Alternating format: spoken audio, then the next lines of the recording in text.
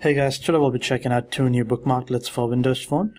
So when you are on a page, if you want to go back, you can use the hardware back button and that will take you to the previous page.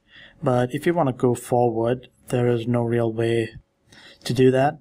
But if you have favorited bookmarklet, you can do that. So we have favorited this before. So clicking on that will allow me to go forward. So we go back to the XDA page that we were on before and there you have it.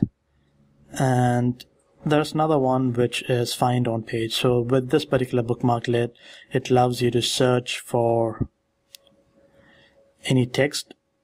So you see that you've got a small banner up there. And if you want to search for something so say you want to search for help and you click on the find button it'll show you that help occurred once in this page and it'll highlight that as well and we'll post these bookmarklets on the site and the previous video will tell you how to install them. Thanks for watching.